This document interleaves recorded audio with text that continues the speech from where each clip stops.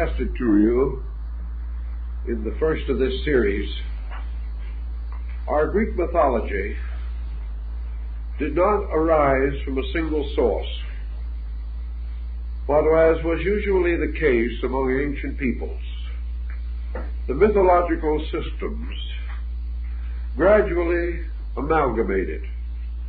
They came together as separate culture units became more commonly aware of their relationships and values.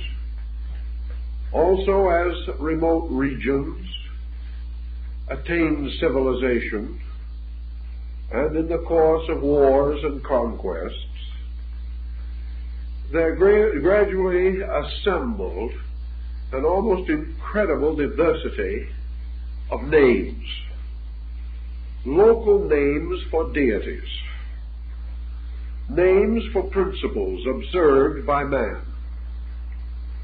On the level of observation, his findings were usually similar, if not identical.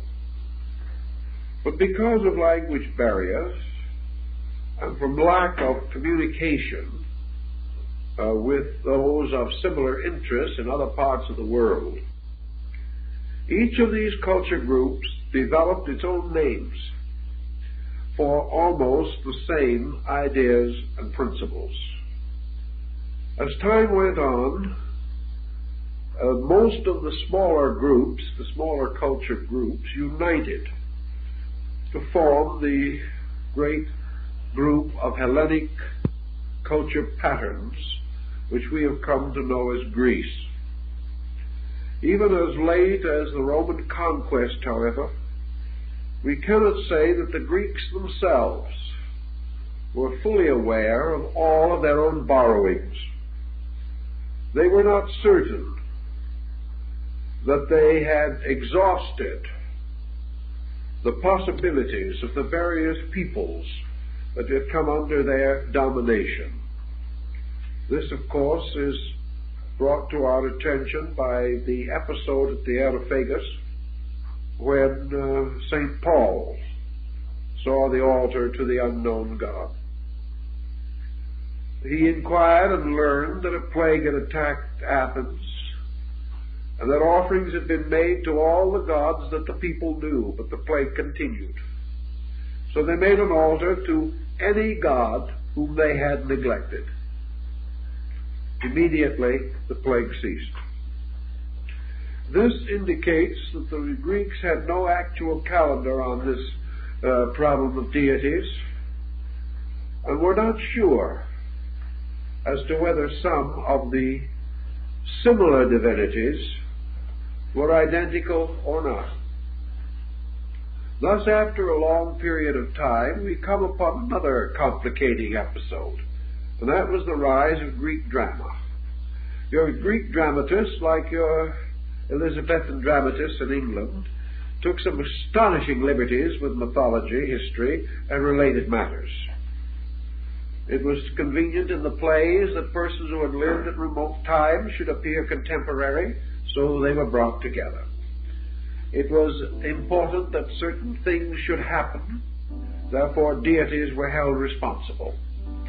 And in many respects, the dramatists made the distinguishing of the deities not almost not all not only difficult but almost impossible in some instances. Hesiod points out that there were also layers of interpretation. And we have suggested already that some of these layers arose as early as the second millennium BC, probably between the 12th and 15th centuries BC, where already the moving mind of man had outgrown the interpretations he had given to his own gods. It is impossible to hold the human being to interpretations that no longer satisfy his consciousness. He will not worship deities whose codes and actions and conducts are inferior to his own. And as he grew, he began to refine and interpret. And among the first refinements that primitive man made, whether it was in Greece or India or in the Polynesians, was to cause a remoteness between himself and his deities. He no longer conceived them as merely a dwelling above or around the next hillside.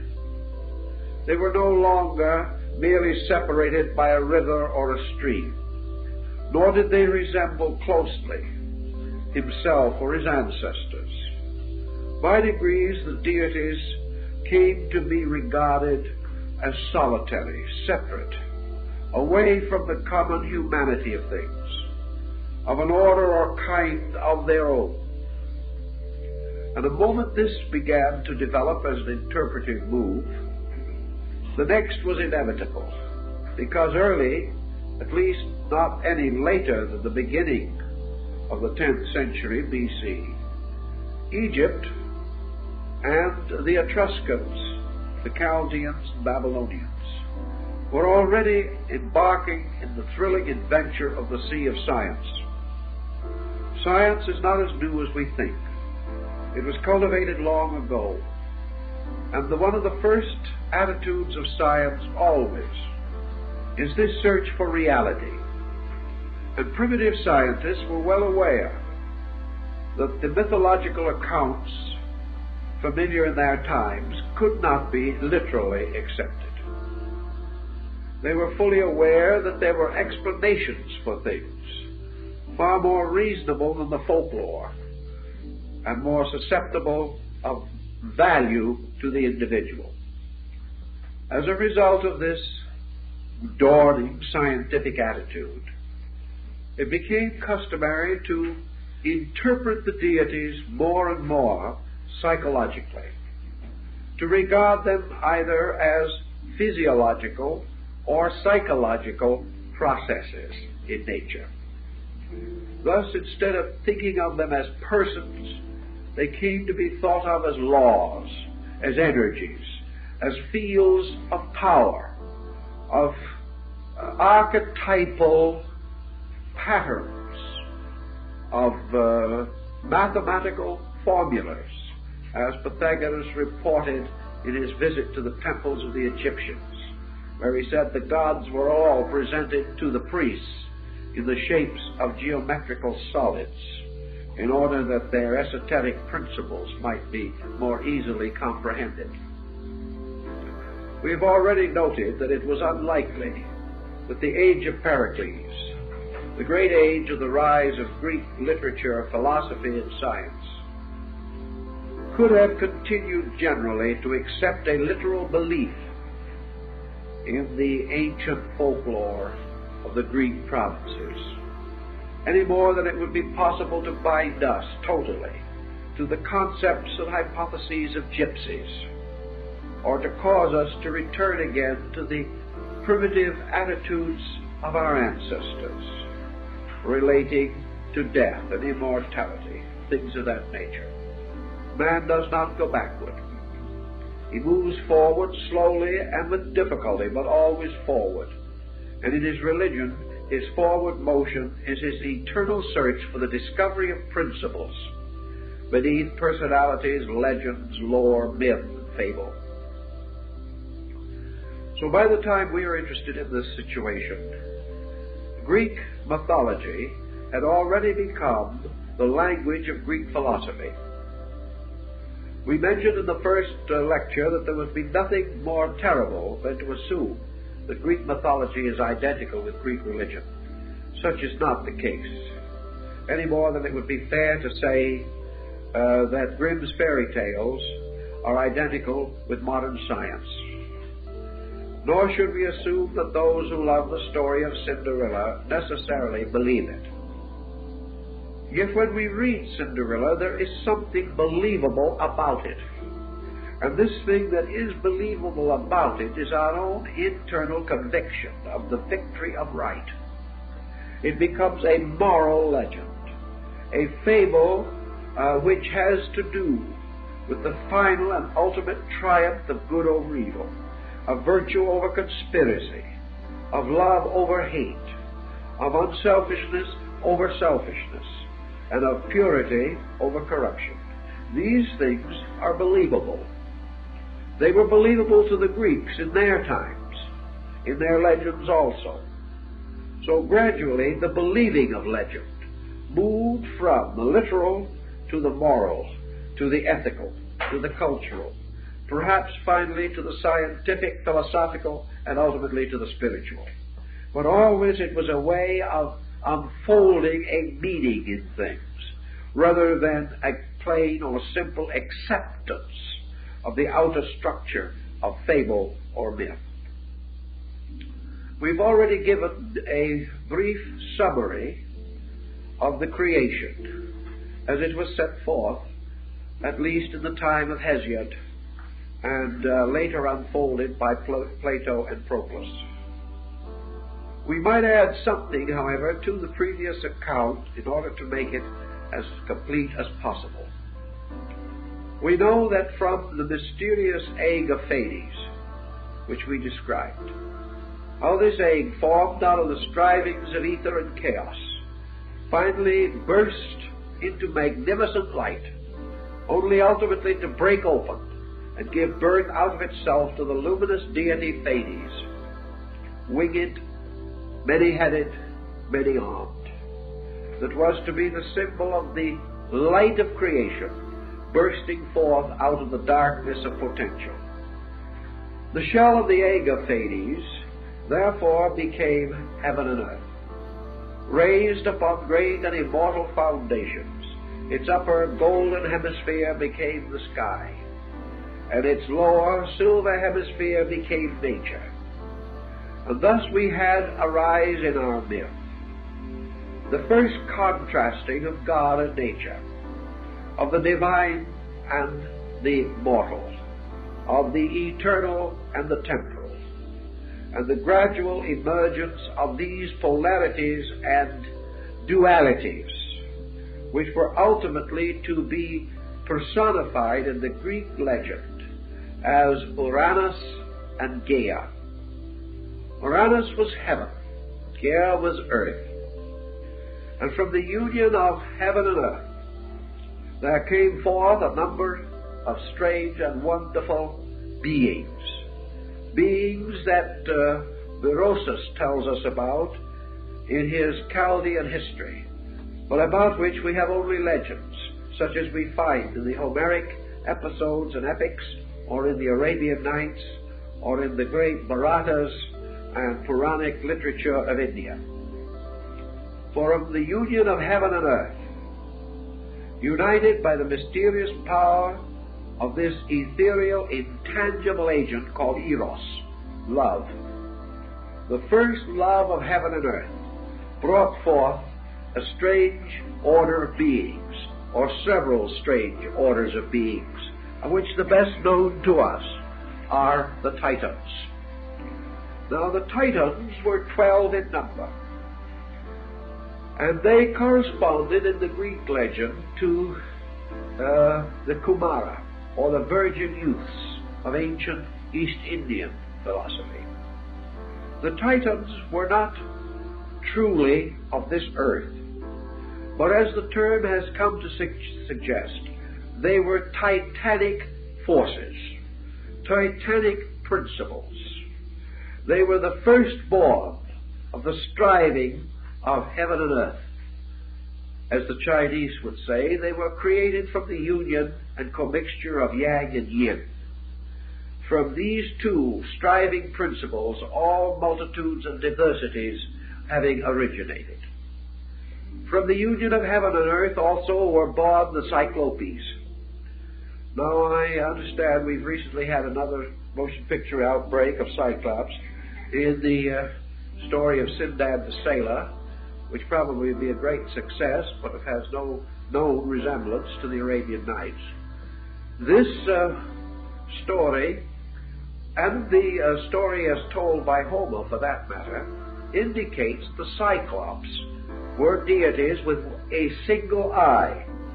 They were usually represented as giants and not always friendly to man.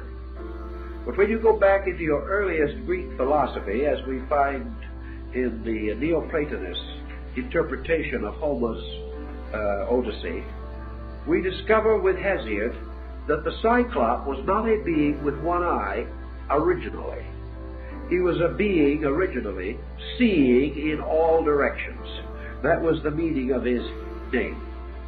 And I suppose the Greeks, trying to figure out how an individual could see in all directions, finally concluded that he must have one eye in the center of his head as being the only possible way of answering it.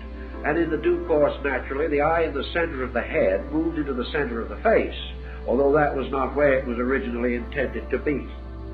The Cyclop uh, is also a psychological entity, according to Iamblichus in his dissertation on the mysteries.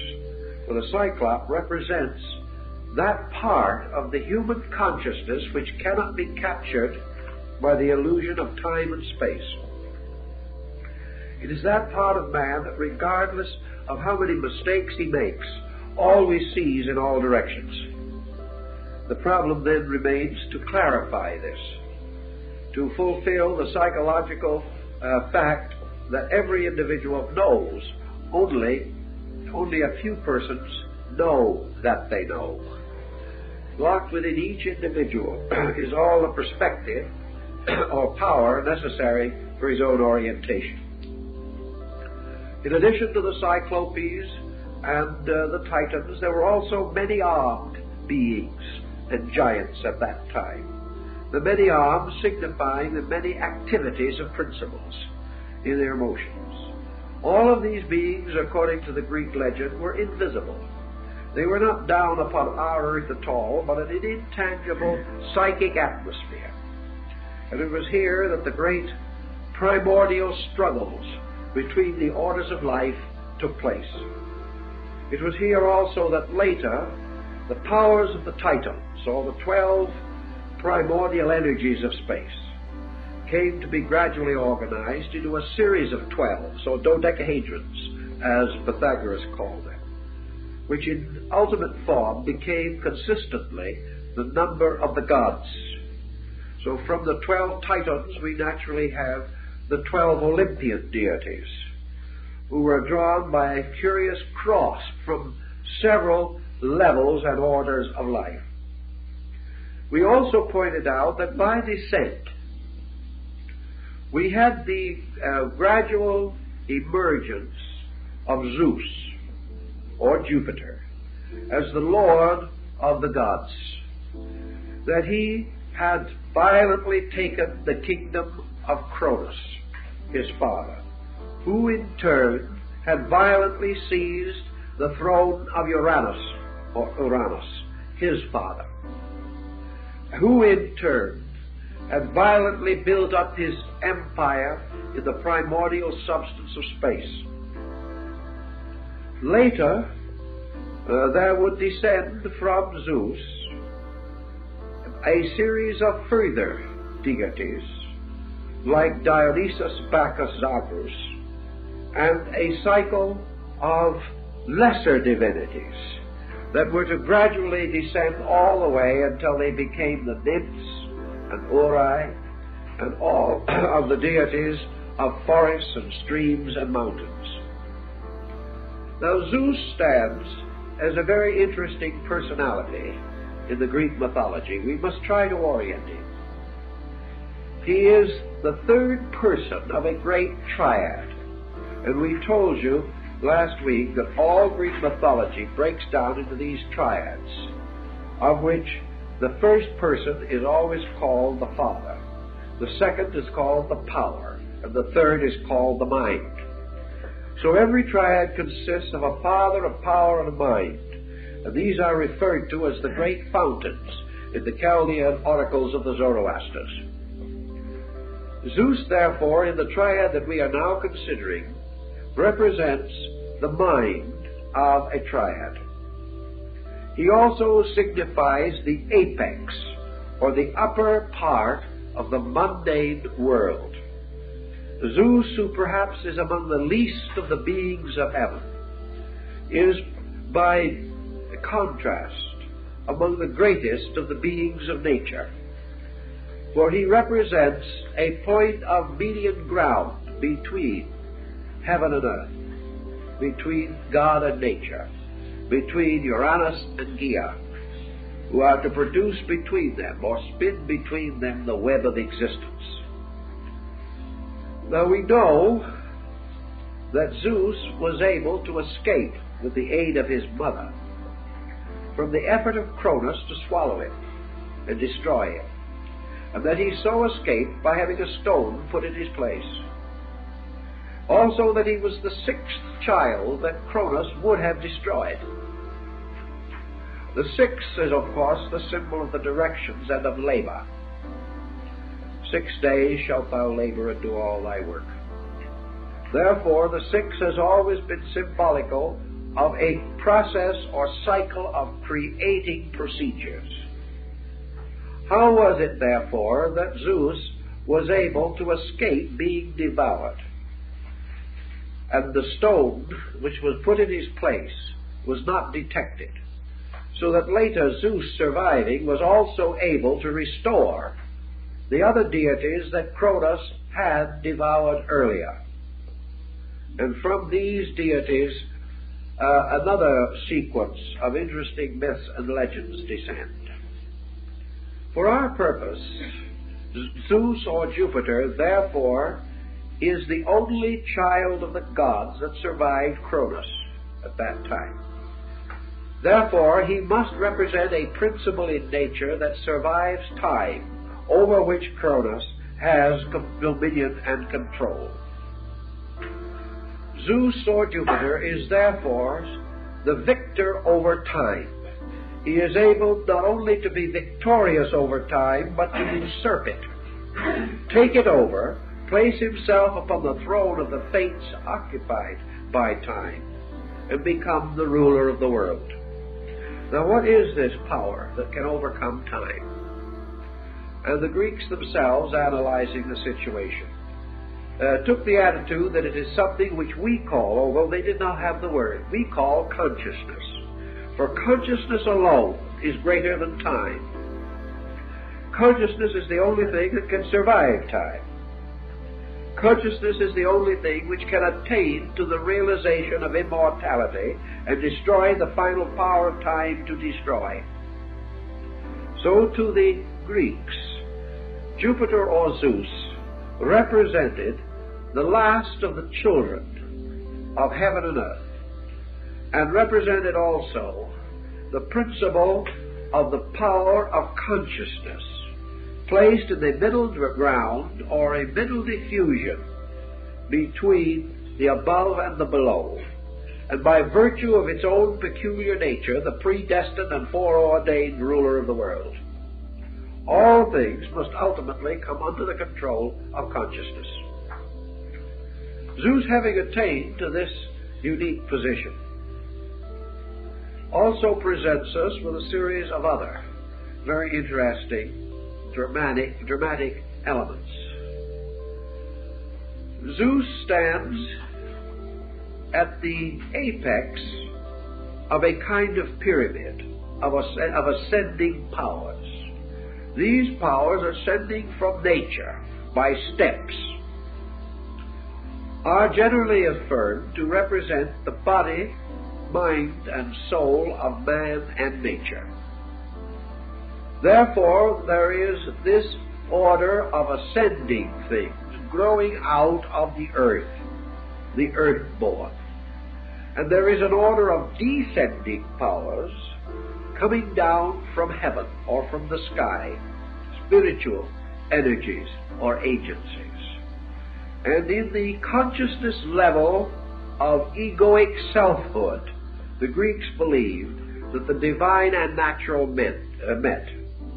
Therefore, that man was truly a progeny of heaven and earth, occupying a middle distance and achieving to sovereignty over both extremes or opposites.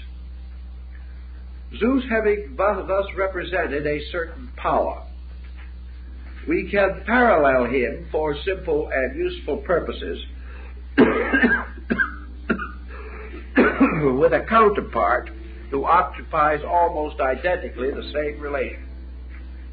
And that is in the Volsung saga, or the Sigurd saga, we have Odin, the great deity ruling over the great palace of Asgard, surrounded by his twelve aces or deities, the same as the Olympian family, and Zeus, and Zeus or Wotan or Odin, all represent this immortal mortal, all represent this mysterious power uh, which alone is capable by consciousness of becoming the ruler of things. Consciousness, however, both in the Greek and in the Nordic legendary, has one limitation, and that is that consciousness can solve every mystery but itself. It cannot solve the mystery of its own nature. It cannot solve the mystery of its own origin or the mystery of its own destiny. As a result of that, Odin, of course, hung himself or was crucified upon the Yggdrasil tree in the effort to learn the mystery of his own destiny. This being deprived and denied him, he descended to the roots of the tree and cast his eye into Mimir's pool in search also of the secret of his own destiny. This again was not sufficient. He finally called upon the Norns, the Fates. They could not tell him. So he invoked Erda, the Earth Mother, and she would not tell him. No matter how he turned, Odin could never discover the mystery of his own destiny. And it is the same concept, perhaps, that we have in connection with human consciousness, which is capable of defining everything except itself, studying the destiny of everything except its own nature, and sealing the doom of everything, but unable to distinguish the boundaries of itself. In any event, this was the Greek thinking at that stage and gave us this grand, magnificent, erratic, forlorn despot, Zeus, who in the midst of all his grandeur uh, was unable to escape the mystery of his own destiny and the equally mysterious and amazing problem of his nagging wife. These things even the gods were not able uh, to conquer. The Greeks had a sense of humor in these matters and a very shrewd observation of the psychological elements of human nature. On Thessaly, in a comparatively deserted region, stood Mount Olympus, and here was convened the great council of the gods. In very early times, it is possible that the Greeks actually believed that there was some kind of a meeting of immortals on the top of the Olympian peak, which to them certainly was a grand, inspiring, snow clad mountain. But with the passing of time, many men climbed Olympus and knew perfectly well that it was not a physical mountain that was to be considered the abode of the gods. So, following Hesiod and thinking in terms of the Elder Edda of the Nordic peoples, we can get a certain vision of the world as it was. When the time came for the diffusion of the natural world to take place within the under hemisphere of the great egg, this great under hemisphere was filled with a strange power, which was itself a god. And this power was one of the Titans. And this power was called Oceanus. And this was the one Titan that played an isolated game.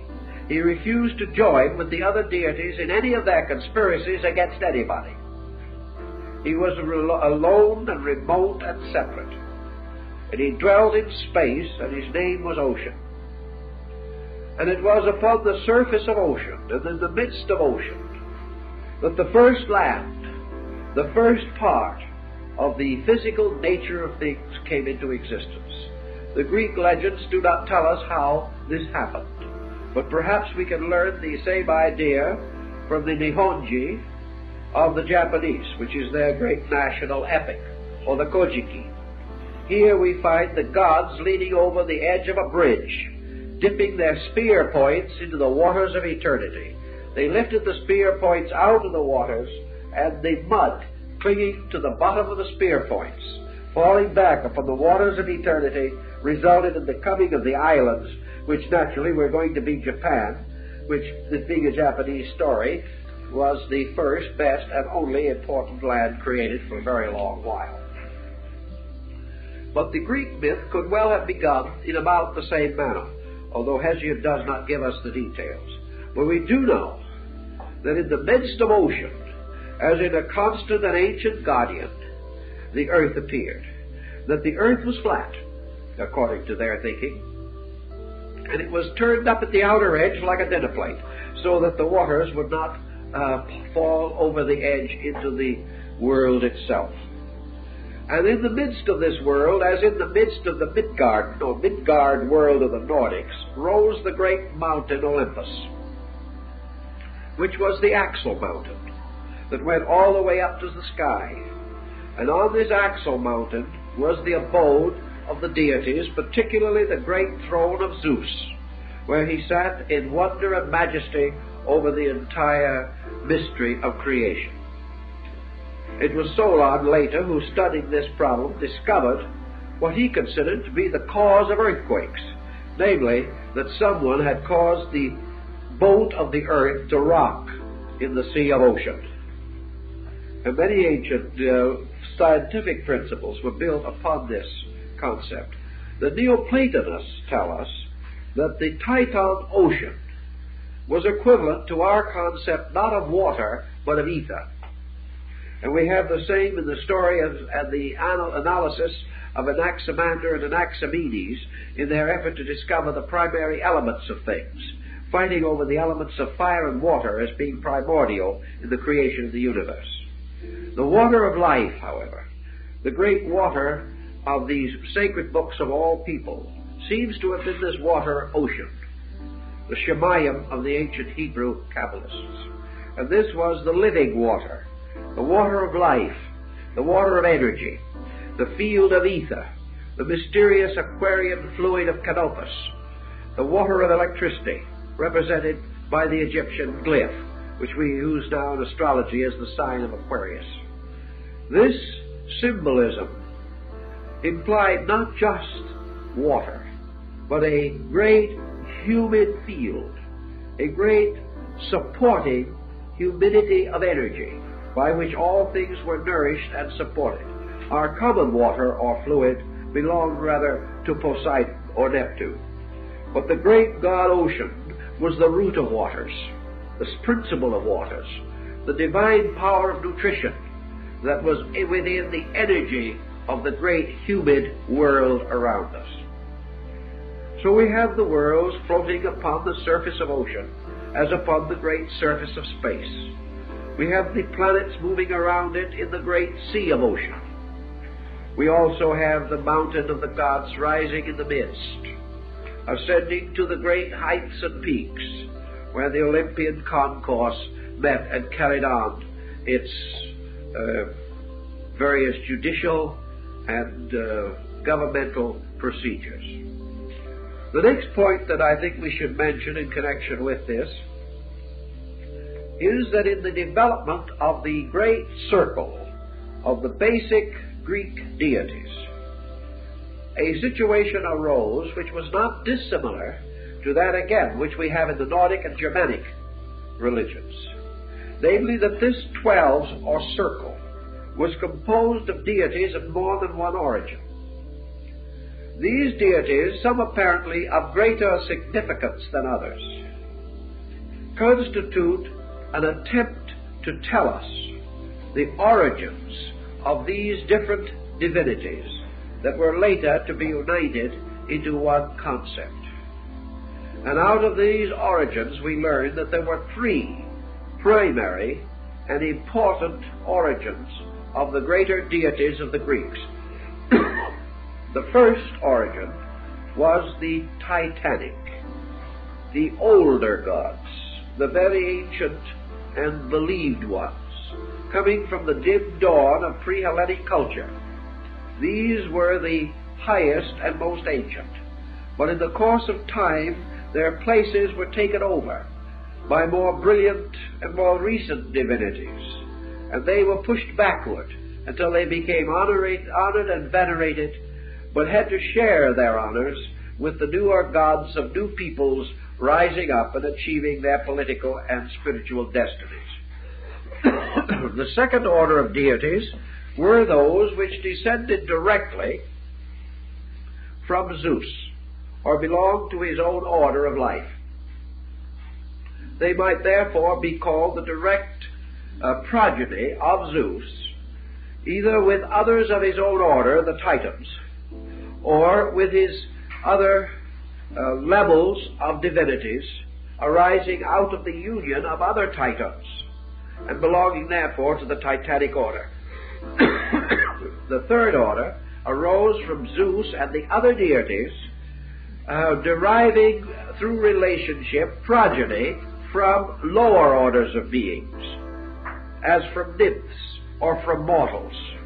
The union of the deities and mortals, generally resulting in the generation of heroes, or divinely anointed beings in whose natures were both divine and human qualities.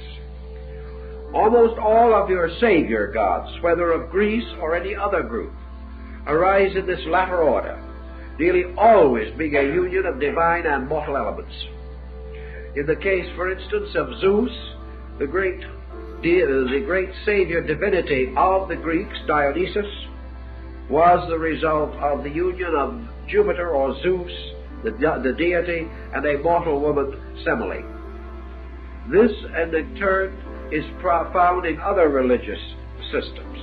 So we may affirm that there were three orders those who came from the ancient gods, those who came from a median group, the level of Zeus himself, those who came through the union of the uh, Olympian deities with mortals or semi-mortal creatures. Nearly always these semi-mortal creatures ultimately attained to heaven, were picked up to become constellations, and their legends have become the great folk hero tales of uh, Greek and other mythologies. Now we have approaching us this problem of a cycle of 12 powers. We have to analyze this a little bit, uh, not only from the standpoint of mythology, but in an effort to, to grasp its possible meaning to us today. we must have certain modern understanding of this.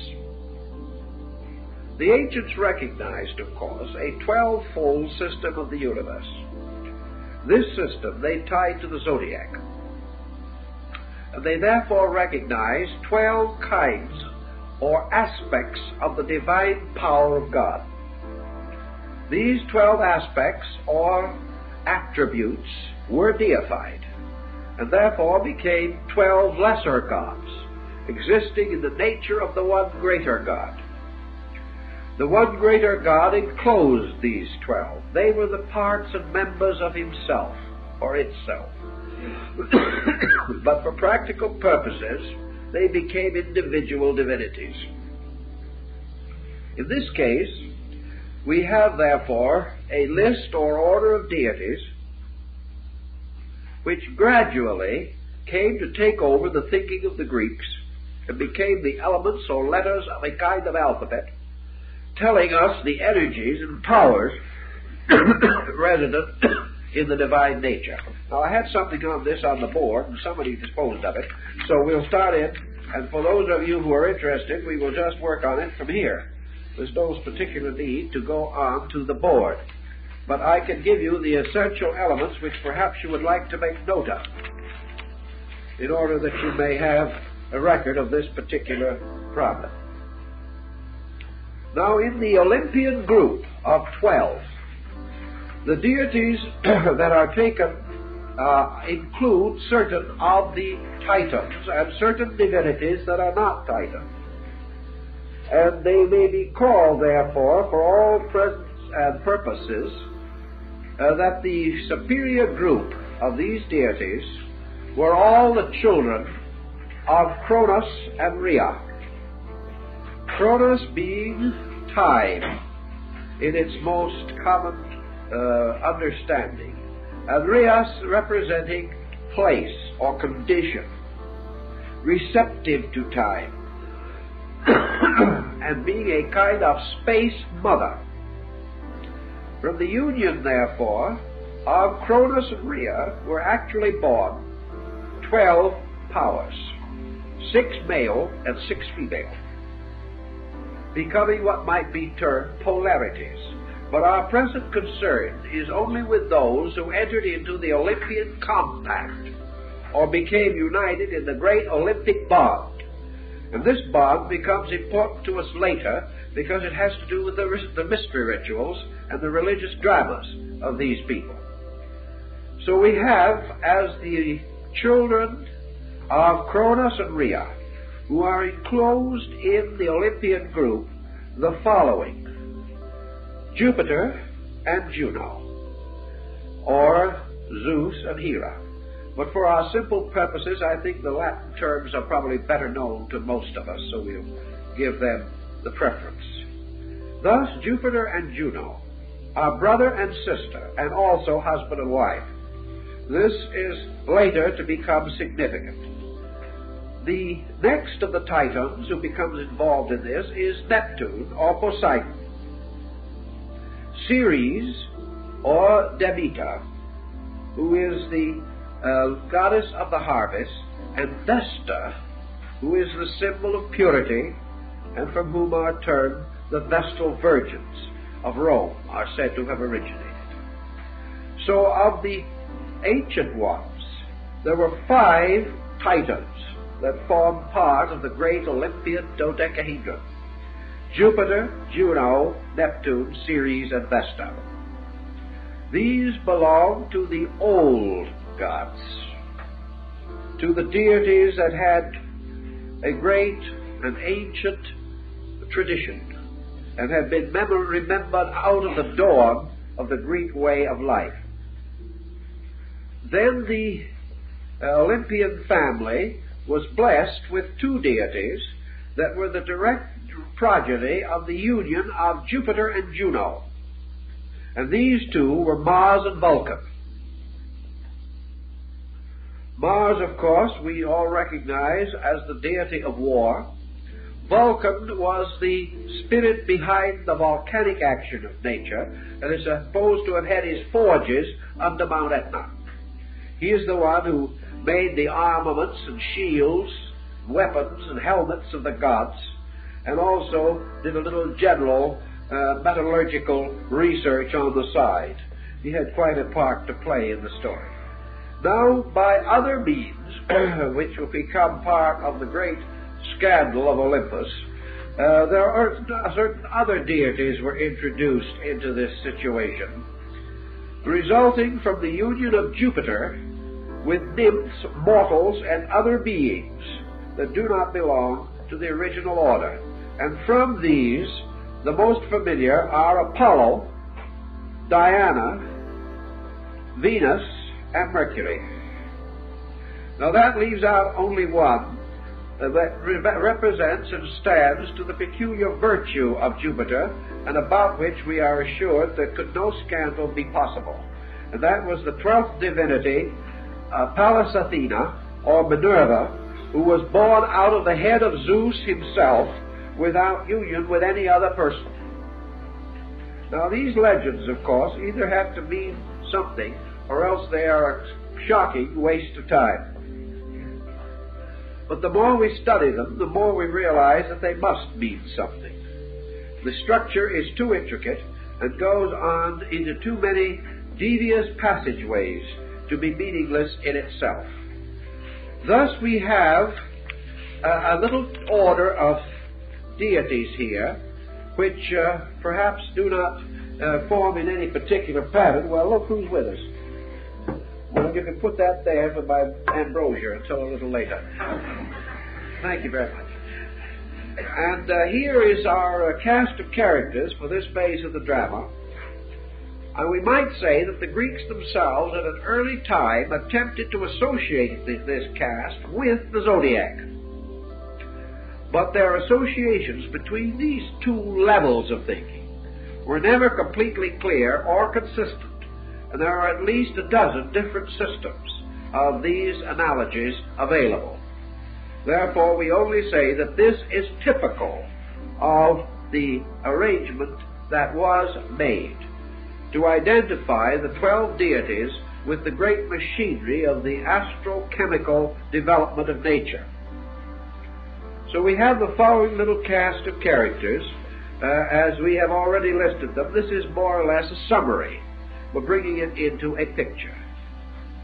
First of all, Jupiter, associated with the sign of Sagittarius, descended from Cronus and Rhea, the Titans. Secondly, Juno, associated with the sign of Libra, descended also from uh, Cronus and Rhea, and likewise the mother of Mars and Vulcan. This gets to be a little complicated, quite a family tree here before we get through with it. Third one on our list, Neptune or Poseidon. Neptune was the son also of Cronus and Rhea the Titan, and he is associated with the sign of the fishes, Pisces. The next deity is Ceres or Kore, the daughter of Cronus and Rhea, both Titans, and connected closely with the idea of the storing and preserving of the harvest through winter, and with tithing and the setting aside of the gift of the grain. She has to do with uh, the death and resurrection of plant life, and therefore the ancients, sometimes at least, associated her with Capricorn. Apollo is associated with Leo. He is a son of Jupiter. Vulcan, Diana, uh, the goddess of the moon, was the twin sister of Apollo, a daughter of Jupiter, and her symbol was the sign of Cancer. Vulcan was also the son of Jupiter and Juno, and his sign was associated with Scorpio. Minerva was the daughter of Jupiter without a mother, born from his own mind, like Brunhilde, his thought daughter, who carried on, as in the Nordic legends, the Brunhild myth, carried on always the secret thoughts of her father. He, she was associated with the sign of Aquarius. The next was Mars, or Ares, the son of Jupiter and Juno, and associated with the sign of Aries. Then Venus, who was the daughter of Jupiter, who is associated with the sign of Taurus, and according to Hesiod, there were two forms of this divinity, one of which was very ancient and was the daughter of Uranus, or heaven. She is naturally associated with beauty and uh, with art, music, and things of that nature, and only later with amatory interests. Mercury was a son of Jupiter. He is associated with the sign of Gemini, and he was the messenger of the gods, the chronicler and scribe, and the patron deity of thieves. The last is Vesta, a child of Cronus and Rhea, the Titans, and therefore descending from what Thomas Taylor calls the Titanic monad. And she, Vesta, was the symbol of purity, of chastity, of protection, and of all of the best and noblest aspects of the home and dedication and the religious life, and she was under the rulership or was associated with the sign of Virgo, being the Vestal Virgin. Now, this gives us the cast of characters in this circle. And we know that as soon as this cast was developed, that the theological pattern moved almost instantly into the astronomical. And from this point on, the deities and their uh, related forces began to cause the emergence or coming forth of nature, the creation of the world. And in the creation of the world, uh, we find a series of very interesting legends or myths, one of which involves another Titan who was a progeny of Cronus and Rhea, and that was the Titan Prometheus. Prometheus, therefore, belonged to the old order of gods. He is the one who uh, attempted to bring the fire to earth and was punished by Zeus uh, by being bound to the peak of Mount Caucasus with the vulture gnawing upon his liver. And it remained for one of the heroes, born of the Olympic deity and immortal, Hercules, to rescue Prometheus from this long punishment.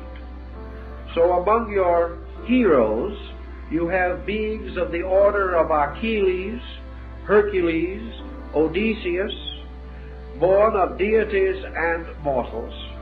And you also have the demigodlets, such as Dionysus and Bacchus, who became closely identified with the mystery of salvation. Now, the Greeks, we shall say, did they actually believe in these, in these deities literally? I think they believed in them in this sense of the word that they recognized that it was possible to divide the activities of nature. That nature was not simply one force moving in upon the individual. It was an order of forces operating in various ways. That there were rules governing almost every aspect of human life and human conduct. That there was justice and there was forgiveness, that there was strength and there was wisdom, there was beauty, there was faith, there was love. All of these terms seem to imply a certain division within the substance of causal nature. It never occurred to the Greeks to assume that a principle could exist as an active agent without having a nature of some kind. Thus, when we think of the principle of wisdom, the Greeks could not divide this principle entirely from the idea of a titanic monad or being in whose nature wisdom was peculiarly exemplified.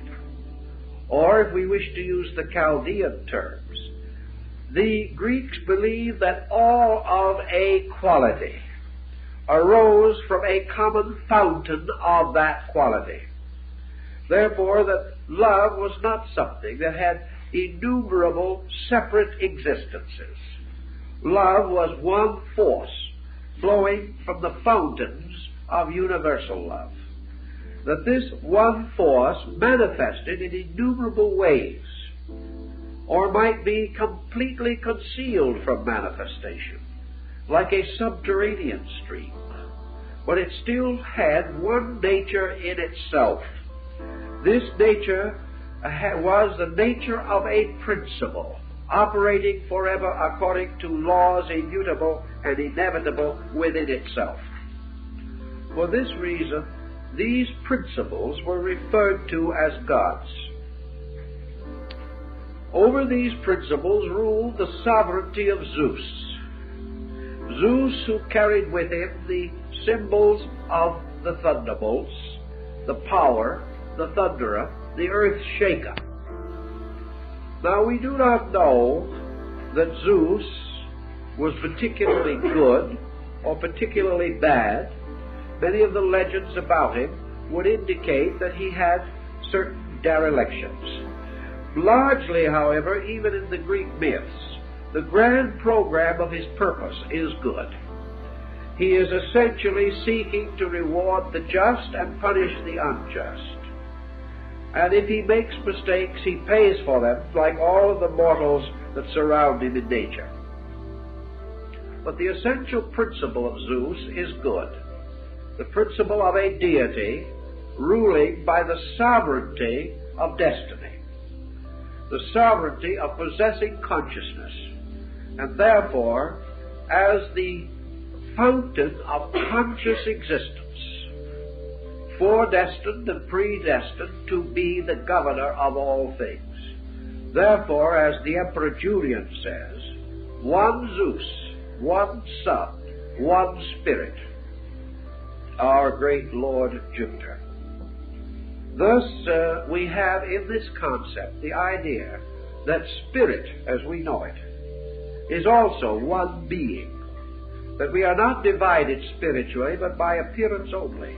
And that the father fountains of our spiritual existence constitutes the nature of Zeus or Jupiter, which is the nature of the self seeking to know, the eternal uh, searcher after realities, the governor who rules with a certain strange uncertainty, this immortal mortal uh, that can never completely solve the mystery of itself, but is given the power to solve the mystery of everything outside of itself. From this type of thinking, we can also go to Juno or Hera, who is recalled or spoken of as the protectress of the home.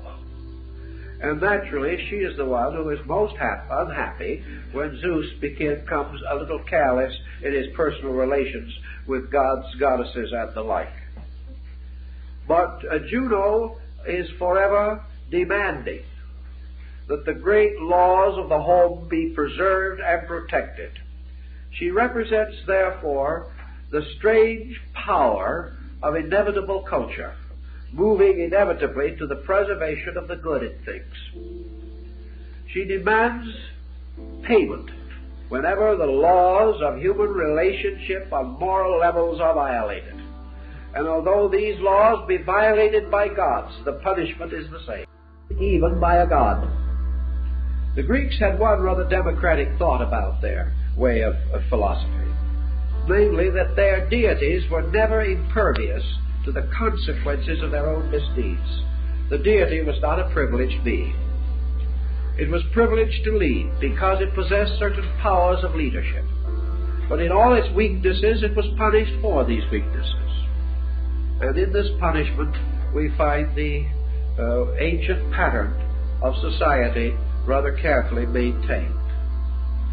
Among the other deities that come into our consideration, therefore, we should consider the monads or principles or powers represented by the twelve laws that the Greeks had perceived or had dimly sensed to be somewhere within the nature of things. Over the physical life and light of nature, uh, they placed the power of the sun. They made Apollo the common sign of light and they placed in Apollo the conflict between light and darkness in all of its forms. Therefore, while it was a solar deity, it was also the symbol of a strange polarized nature. For in the case of Apollo, we had this deity under the law of day and night, under the law of darkness and light.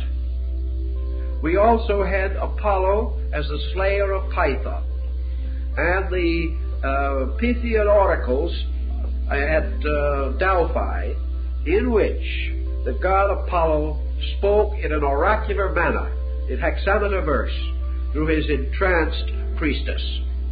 Apollo was therefore more than merely a sun god. He was also a god of harmony, usually the leader of the muses, and represented quite often seated playing upon a lute surrounded by the attendant muses that form uh, the ceremonial body attached to his own nature.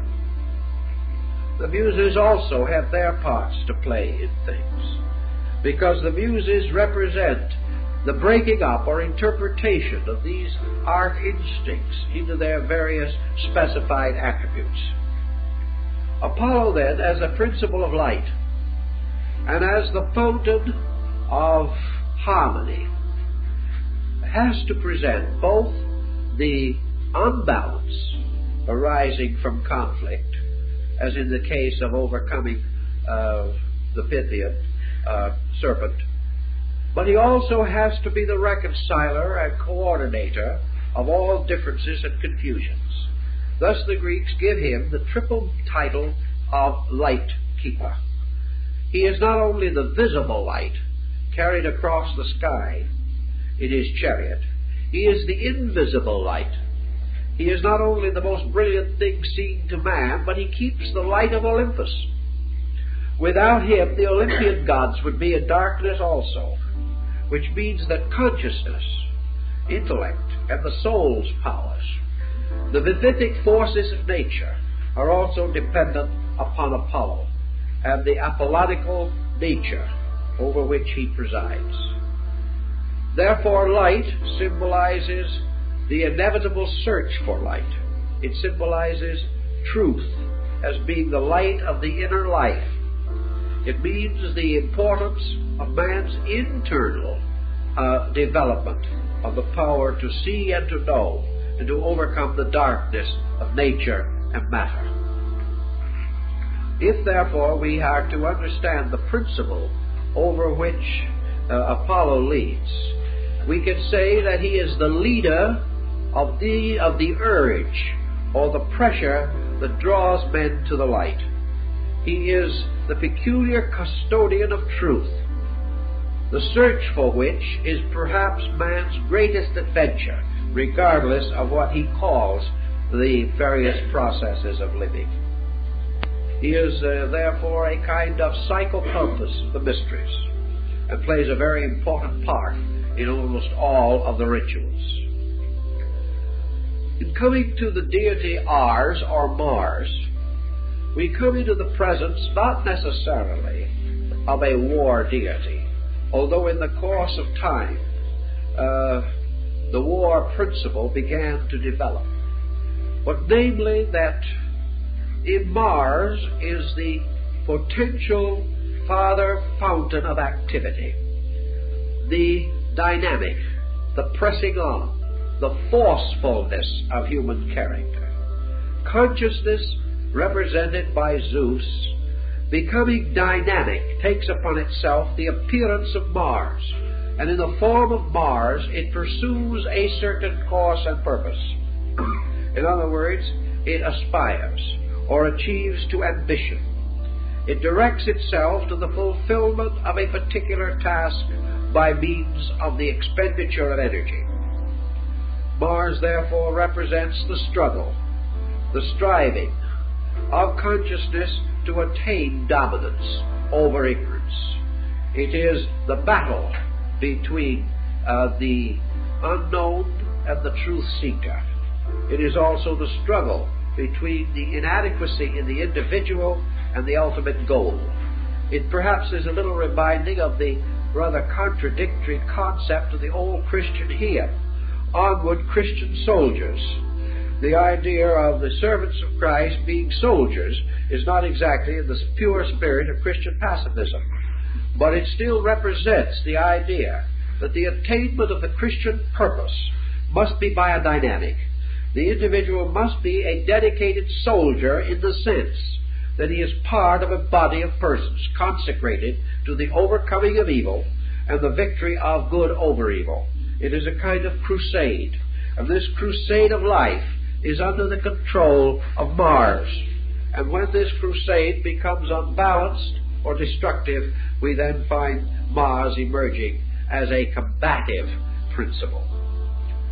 The deity Vesta has always seemed to me to be particularly interesting because she represents not only uh, the idea of spiritual virginity, but she goes into the true meaning of that, inasmuch as it represents the old priestess veiled with her ancient garment of wool, uh, seated in an aloof place, entirely absorbed in her own internal meditation.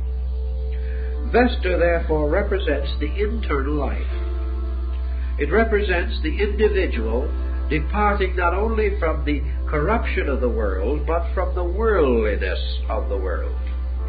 Perhaps religious orders, of which the Vestal Virgins were one of the earliest to be recorded, this retreat away from worldliness was only a symbol of the search for esoteric integration within the self. It was the person in the quiet contemplation of their own divinity. It was the individual seeking to attain union with truth. Therefore, Vesta represents the secret ways of things, where through by purity, renunciation, discipline, and detachment, the consciousness is freed from the limitations of error and remains strangely calm, strangely aloof, strangely impersonal, and therefore is able to escape from error. This, I think, is uh, one of the reasons why this deity is so associated in the mystery cults of the ancient Greeks and Romans. Now we have also one of our best known deities, and that is Mercury or Hermes. Mercury or Hermes was the communicator. Uh, in some mysterious way, the revelation of man's fountains of potential finally bring us into the direct presence of the sensory perceptions. And over these perceptions rules the power by means of which all sensory perceptions take from a common fountain or source. There is only one visual energy in nature, regardless of who sees or how much they see. There is one only auditory power in nature. And in certain creatures, this power produces the auditory phenomena. In others, it does not. But there is only one seeing, one hearing, one tasting, one touching.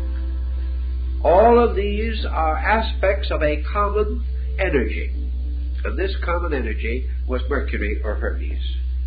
For this reason, and because of man's dependence upon the sensory perceptions which he possesses, for what he terms knowledge, education, enlightenment, or the advancement of his cultural destiny. Uh, Hermes was the instructor, the teacher, the messenger of the gods, the communicator between heaven and earth, and in Egypt under the name of Thoth, the, the great scribe, or the keeper of all records, supposedly to have been the author of thousands of books, for the reason that the principle gained through observation and reflection, over which Mercury rules, became in substance the author of all books. All things of an intellectual, sensory nature arise from Mercury, which also bears down upon us with the impulse to communicate, so that if we become too loquacious or too easily desirous of sharing either our knowledge or our ignorance, we do so by virtue of the mercurial principle. This tendency to communicate, to share, to seek to escape from isolation into a common comradeship of purposes. All these problems and pressures the Greeks recognized and personified under the nature of the deity Mercury or Hermes. Uh, this deity was also uh, regarded as the god of thieves which is not particularly remarkable, for is not ingenuity the basis of thievery? Is not our knowledge the thing that is making us today perhaps the most corrupt of all peoples? We wonder if that is uh, an exaggeration, but after all, we know that more of our knowledge is used to advance selfish purposes, perhaps at the expense of each other, than is actually expended for common good. Therefore, it is not impossible to conceive that Mercury, by making man smart, also makes it possible for him to be uh, dishonest with a greater measure of efficiency and with greater thoroughness and more profit to himself and greater loss to his victim. In any event, uh, not only in the ancient times but as late as the Middle Ages, Mercury was worshipped as a deity of thieves and also as the messenger of the gods. The next principle that perhaps we should uh, give a pause to is our old friend Vulcan. Now, Vulcan was the smithy, the Tubal-cain of the ancient Greek pantheon. He was the god of the subterranean fires of things. He was the keeper of the smoldering pressures. And I think that it perhaps would be as well as anything else to suggest that under the heading of Vulcan, we now list those subconscious instincts which more or less occupy our own underworld, which break forward in, or into our objective through the great combustions of our emotions, as in our complexes, frustrations, and neuroses. And that by means of these frustrations and by means of the volcanic principle, these pressures create armament and defensive weapons to protect or to arm the various attitudes and principles that we hold on to. So that actually this subconscious is forever arming our objective life against honesty or against the solution of the problems created by the subconscious itself. If it only produces an excuse, there is very little difference between an ex- excuse and a good shield because they actually represent defensive armament. Anything but admit the fact, escape or evade, or perhaps build subconsciously such heavy patterns of tension and pressure that we can no longer discover our own natures.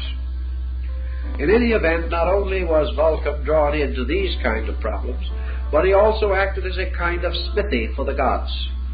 He was the one that was called in on a number of occasions where tasks of unusual nature were required. He likewise had to do with the release of the powers of nature the secret or hidden powers of nature. And it is quite possible that under Vulcan likewise would belong the entire theory of atomics, because he was the keeper of the secret powers, and he is the one who made the thunderbolts for Zeus. He provided these thunderbolts. And remembering that all of these deities representing embodiments by law, if Zeus or consciousness orders the thunderbolts, then Vulcan, or the natural machinery of life, must produce them.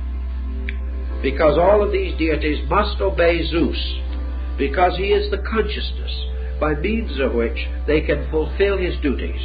And as he is consciousness, they have nothing with which to resist him. But if he demands of them that which is unreasonable, he then may cast himself into Tartarus for ages to come. But Vulcan indicates there is a tremendous combustion available, which the gods use for various purposes, and bring a terrible penalty if those purposes be wrong. Now we hear much of the moon deity, chase Diana, the great mother of the Ephesians. She was the lunar symbol and principle, and she was called the goddess of the hunt. Now, moon and imagination have always been curiously and wonderfully uh, related together. The moon represents a certain part of man's psychic field. It represents uh, the entire vista of imagination. The moon is the imager. Imagination is this peculiar metaphysical power which, like some sorcerer of old, waves a wand, and the appearance of everything changes. Imagination is the very substance of the Midsummer Night's Dream, by which everything is a fantasy. Imagination places man in a world of fantasy, a world which can be a beautiful dream or a terrible dream, according to his ability to direct the power of imagery within his own consciousness. Yet imagery has more to it than merely the self-deception or self-satisfaction. Imagination, whether we realize it or not, is the great power beyond progress and behind it.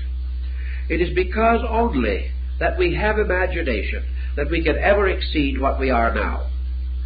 Therefore, the lunar deity is forever exceeding itself.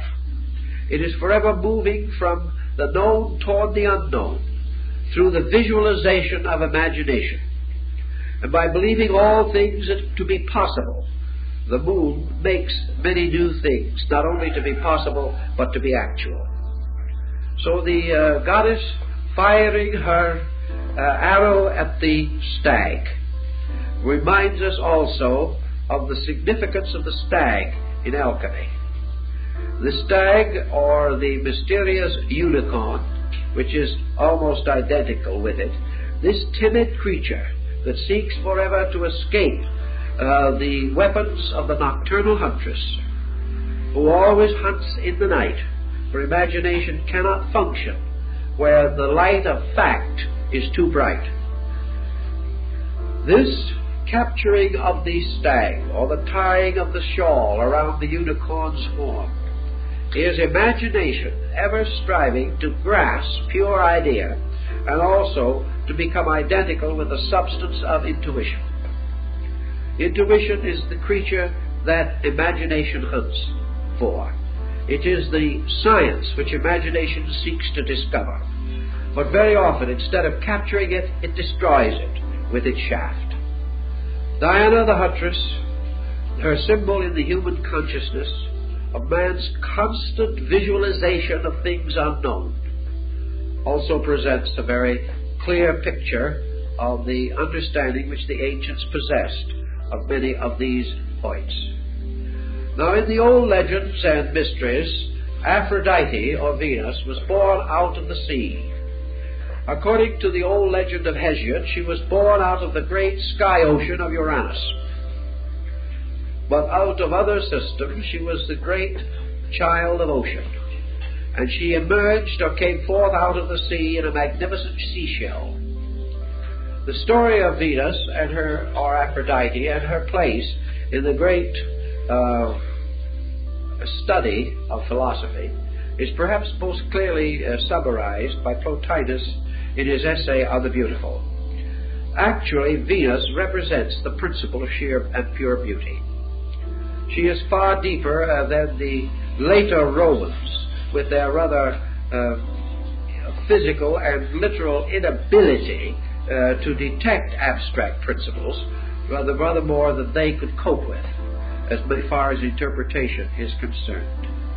But according to Plotinus in his essay on the beautiful, all things, whatever uh, they may be, are ruled inevitably and eternally by proportion, by the irresistible instinct to be orderly, and by an equally insistent demand to be harmonic, to be gathered together in suitable arrangement. So that things which are by nature deformed or asymmetrical are displeasing to us as adventures of consciousness. Also, colors which are inharmonious clash upon our sensitivities. Sounds which are discordant displease us. And within our natures, we are forever mentally, emotionally, spiritually, and morally seeking harmony, seeking beauty, seeking the realization that beauty on the level of conduct is morality. Beauty on the level of philosophy is ethics. Beauty on the level of religion is love. All of these principles uh, represent harmony, peace, concord, agreement, consanguinity, instead of division, discord, disruption, death.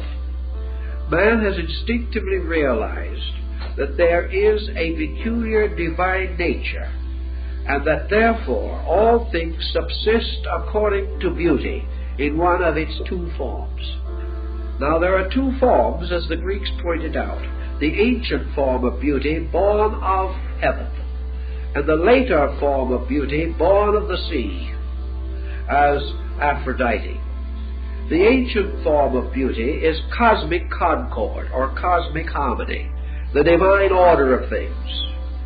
And in the manifestation from heaven itself into the great manifesting abyss of time, eternity moving into time and filling it, stands revealed as a supreme beauty, a perfect order, a mathematical, geometrical, harmonic relationship symmetrical solids, all things in concord without dissonance or conflict among themselves. This was the ancient or primordial beauty. The secondary beauty born of ocean is that kind of beauty which is born of man's desire for goodness. Good is a kind of beauty. It is a little different in its essence and substance from truth, which is a sovereign beauty. But man attempting to serve truth attempts to do so by conducting himself according to the good, Socrates describes the great triad of the one, the beautiful, and the good. The one by which all things are created. The good by which all things are ultimately brought to fruition. And the beautiful by means of which heaven and earth are bound together.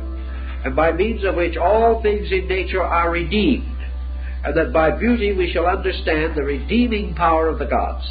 That all things shall be saved shall be made new again, shall be restored and rescued, and that beauty shall adorn itself with spring, and come forth after the darkness of winter. Thus, all good things, the virtues and graces of man's consciousness, all these things are said to be good, and therefore to be beautiful. And the peculiar abstract archetype of beauty is one of the great fountains of space, from which flow energies under total law. For the law of beauty is as absolute as the law of truth. There is no essential difference in their value, except that by beauty things are persuaded toward reality, and go toward reality joyfully in the great processionals of the mysteries. Thus, beauty has a wonderful converting power. And the gods could not join with each other in the sumptuous repasts of Olympus and share in their common duties unless beauty was among them. And the presence of beauty is therefore regarded as essential in all the meetings of the great instruments of state and wisdom. For without beauty, there can be no true justice. Now we can pause again and study this most mysterious, controversial, and difficult of all, probably, of the Olympian deities, and that is Pallas Athena or as we call her more commonly, Minerva. Here is the hero goddess maiden. Here is the deity, usually depicted in armor, helmed, and bearing a spear, and also often with a shield upon which is the boss of the Gorgon's head. This divinity is a strange, almost androgyne creature, being to some the goddess of wisdom, to others a goddess of war. Among her attributes were those of knowledge and the breaking of wild horses, so that it shows the strange diversity into which the attributes of this deity uh, are recognized. It is said that she was born from the head of Zeus, which broke open to permit her to come forth not only fully developed and full grown, but also wearing her armor and complete as she was to be. Therefore, she is to be understood as the mind born, the one that is created by will or created by yoga, a creation which becomes practically the symbol of the yogic power of the Greek metaphysics. Minerva, therefore, is a secret art or power, a secret principle or energy made available. And in all principle and substance, I think we may say that she was the embodiment or the personification of the concept of the sacred arts by means of which man became as a god, knowing good and evil. Thus she represents the presence eternally of the doctrine of the mysteries in the Greek way of life.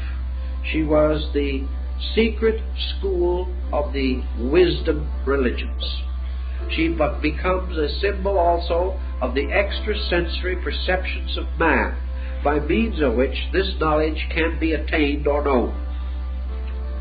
Therefore, therefore you might say that as Duke University, Duke's University is believing in the existence of extrasensory perceptions and is trying to classify this phenomenon that the Greeks would say that if this phenomenon exists, it flows as part of an energy from one of the great sovereign fountains of space. If this is true, in other words, that there is an extrasensory perception, then this belongs to the whole mystery of existence. It is a power really and eternally present, locked within the mystery of things.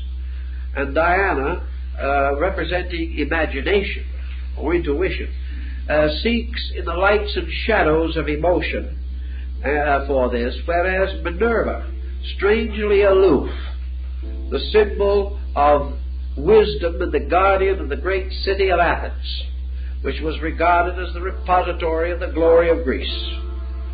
She represents the divine patron of learning. She represents the mysterious armed power that fights in the sky for those that are right.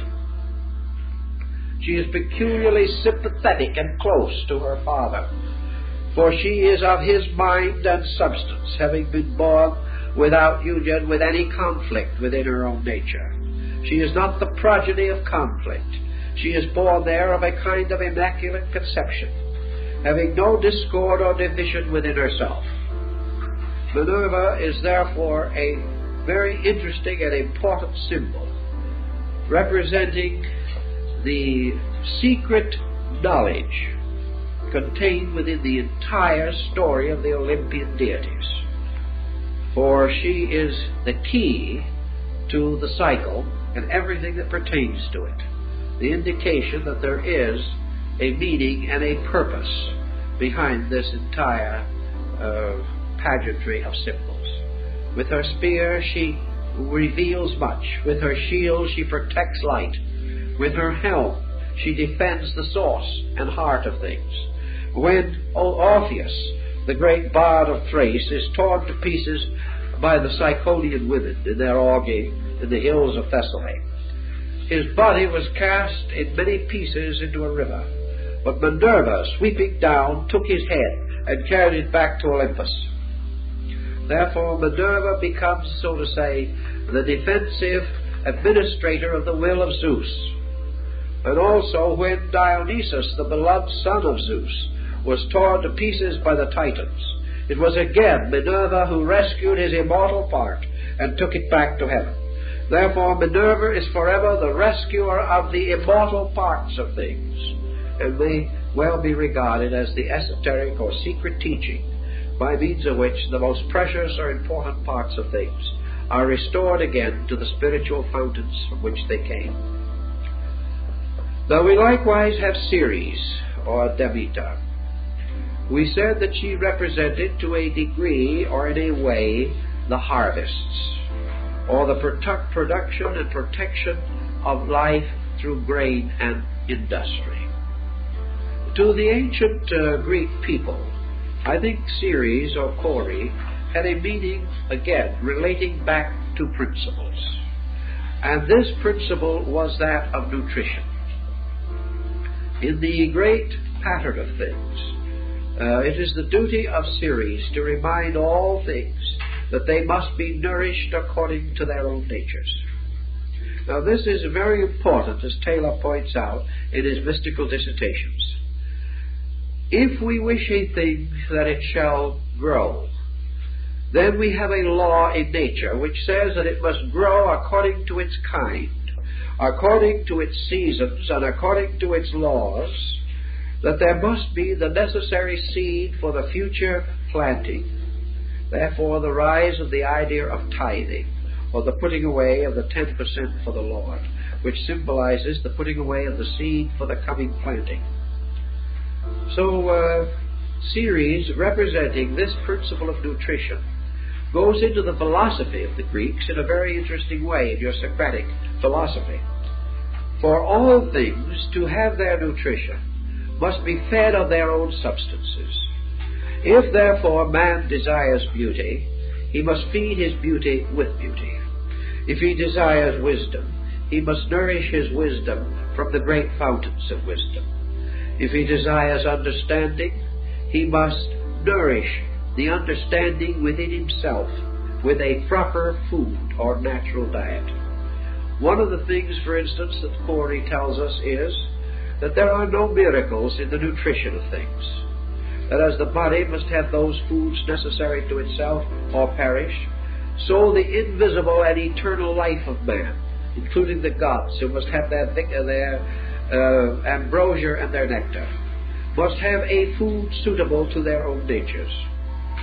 All things are developed by the strengthening of their own kinds, by the development and recognition of their own principles we achieve almost any end which we seek by becomingness, by developing within ourselves the similitude of that which we desire.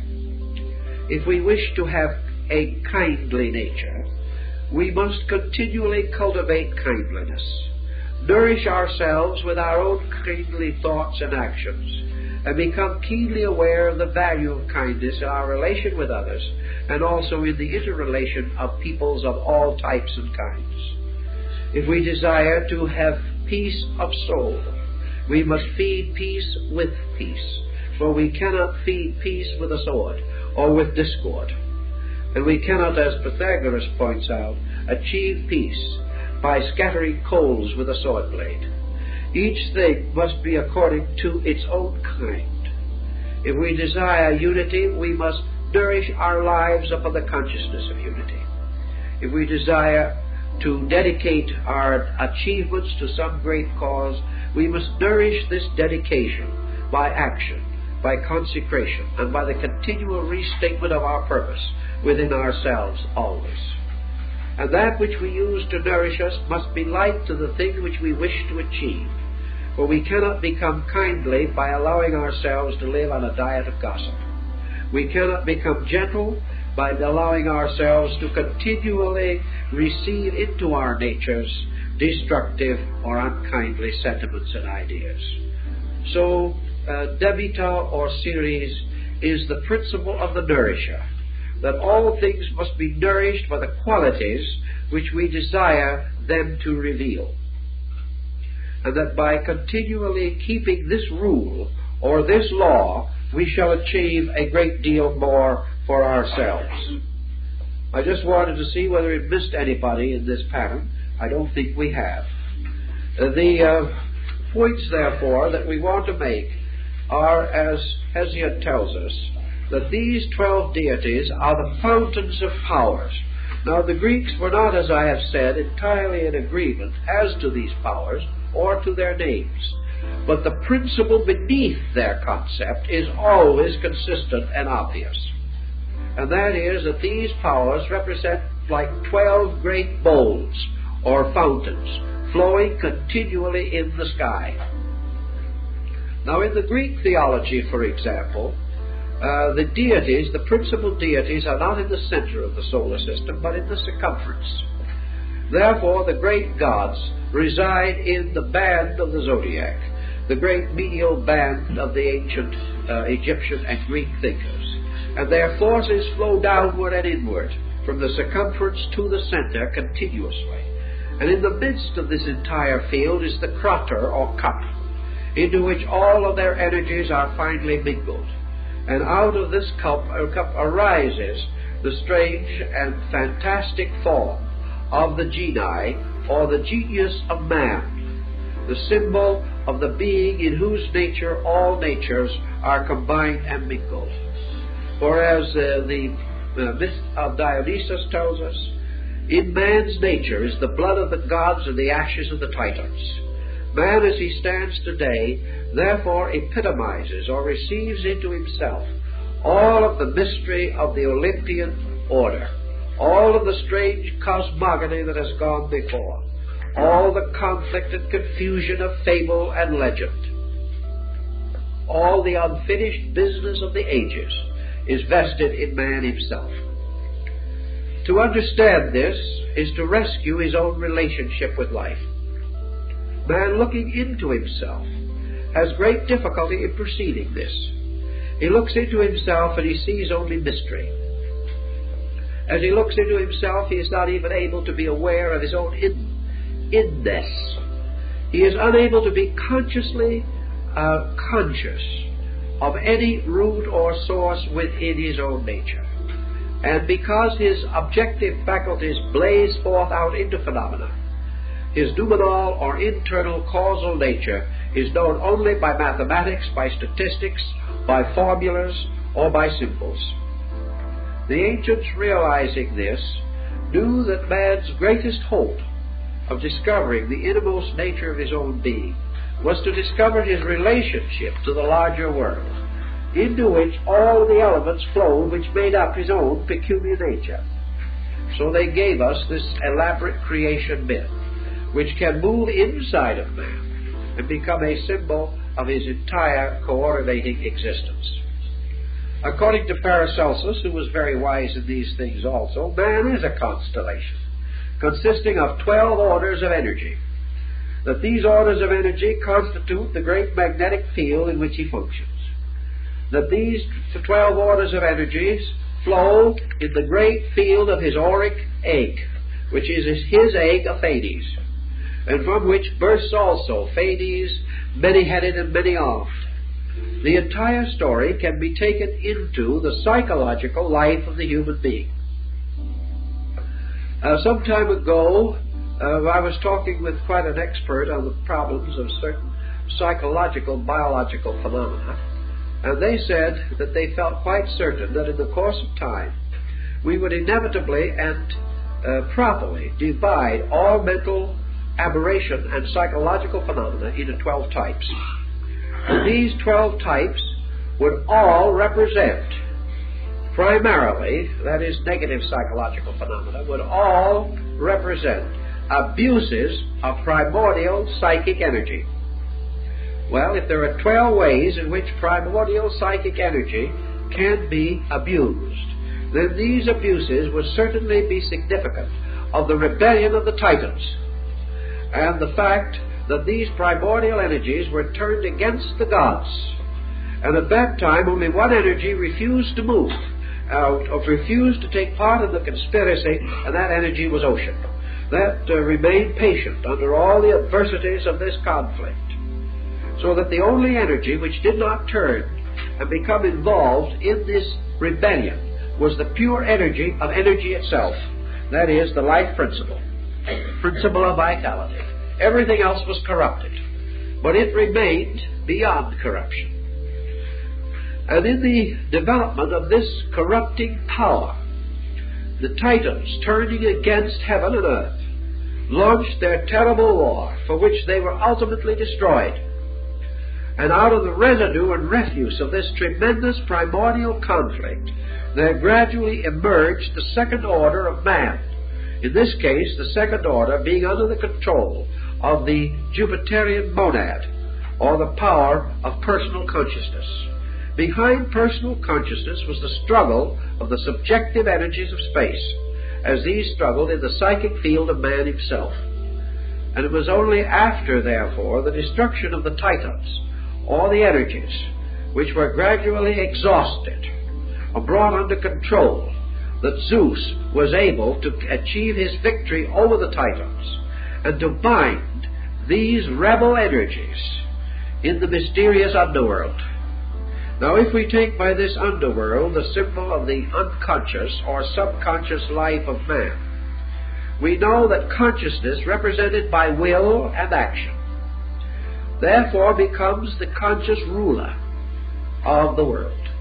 But that against this conscious ruler is the eternal rebellion of the imprisoned titans in the underworld.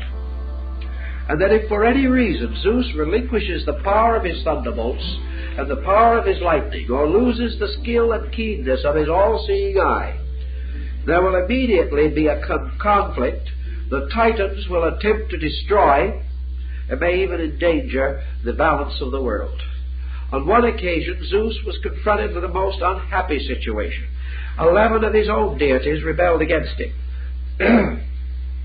he was threatened with war in heaven. He then proceeded to take his thunderbolt and he stood upon the edge of his great throne and he told these deities that if they wished to do so, that they could all revolt and leave him alone. That they could go down into any parts of the world they wanted to and establish their own worlds, their own universes. And that he would then take the entire creation which they had fashioned, circle it with a golden chain, bind it to the pinnacle of Olympus, draw this chain back into heaven, and leave all the gods and godlings swinging in space between sky and earth. It was a big scene, you know. We're not sure that they ever put it on, but it was quite a big scene. But psychologically, here we have this situation. The Titans are not dead. We know that. We know that the titanic, disordered forces of man's life are not dead that they are controlled by the power of consciousness and reason. That certain faculties and the ancient Hindus, recognizing 12 convolutions of the brain, relate these 12 centers with the 12 principal deities of their great circle of Mount Meru. That there are certain orderly deities or orderly process functions by means of which chaos is prevented from controlling the life of man.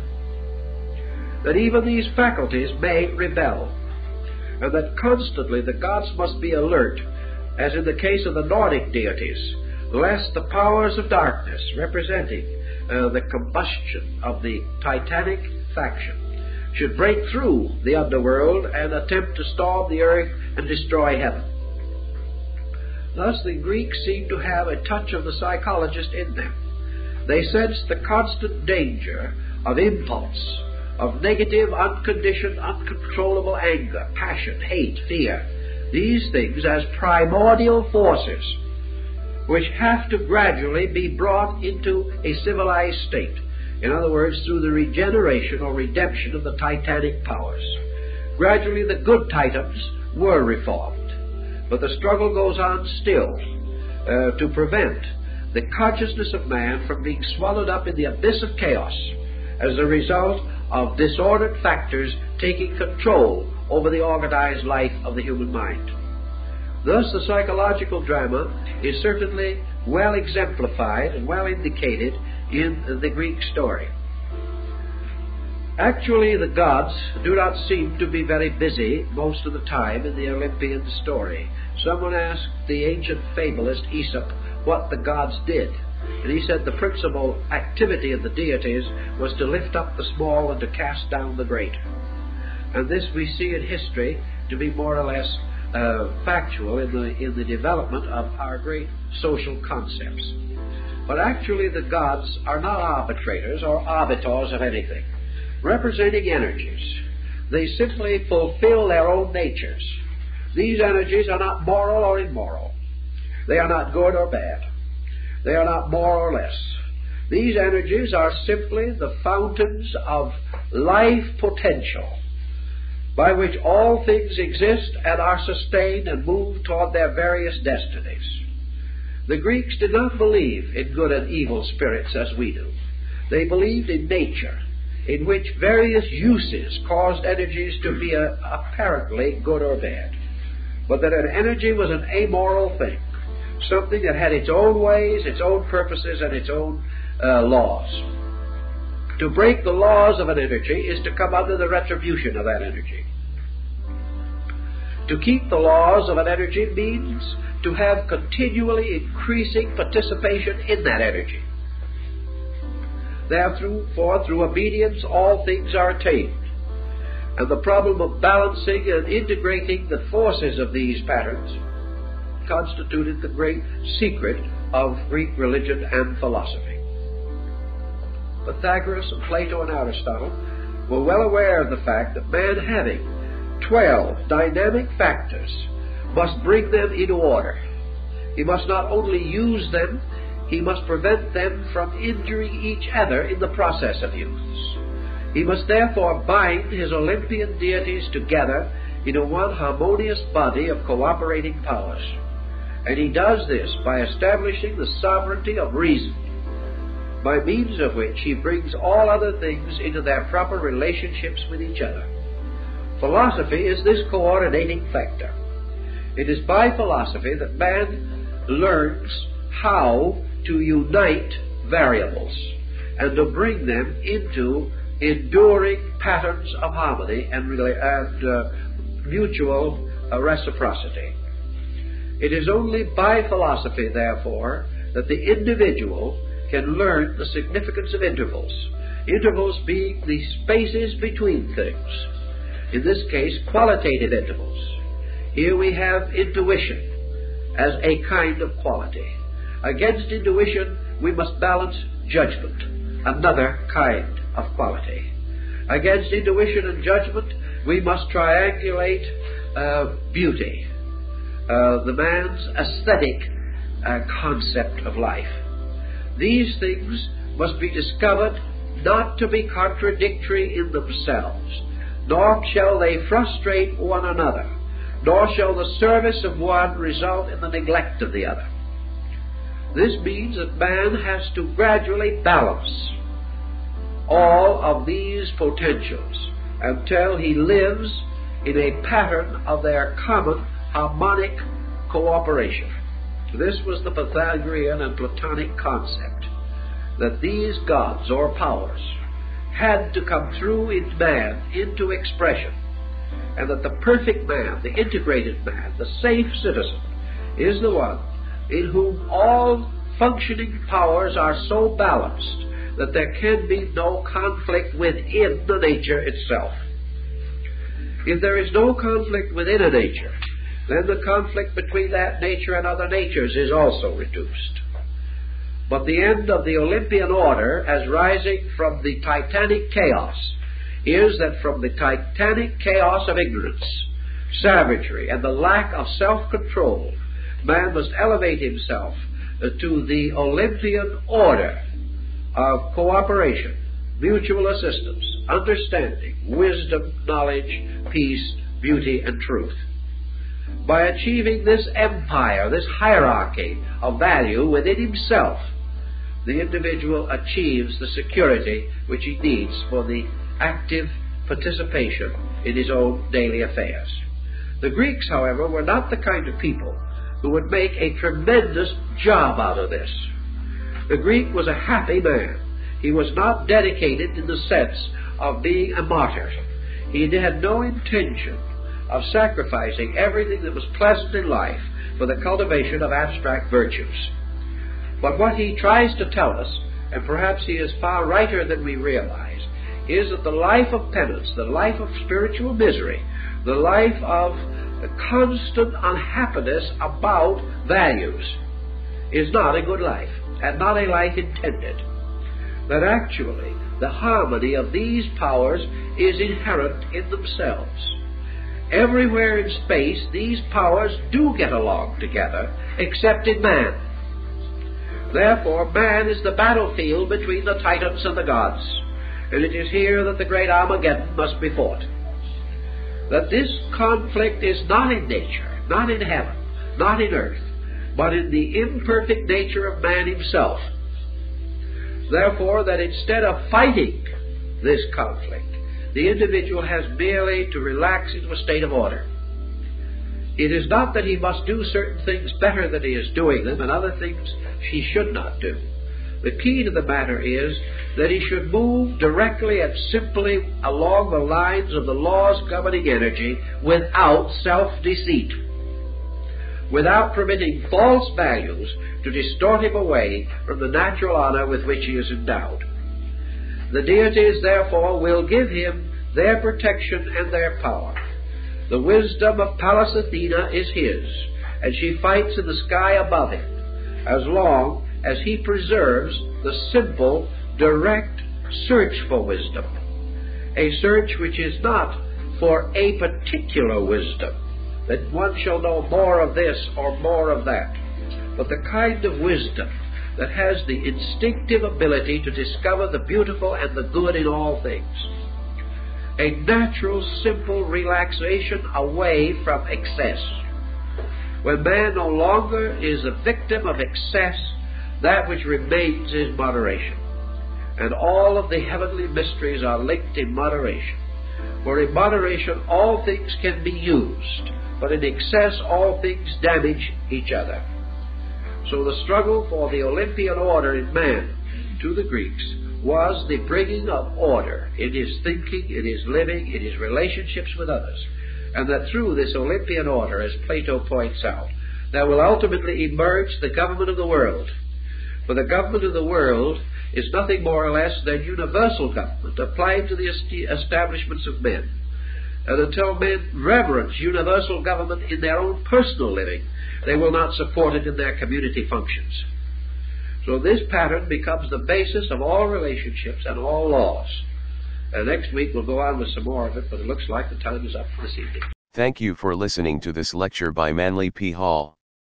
For more enlightening lectures like this one, make sure you subscribe to our channel and click the bell, so you can be the first to get notifications when the next video is ready. Also, you can encourage us to share this knowledge by liking and commenting this video, so we can reach more people around the world, and help them wake up too. Thank you and we'll see you in the next lecture.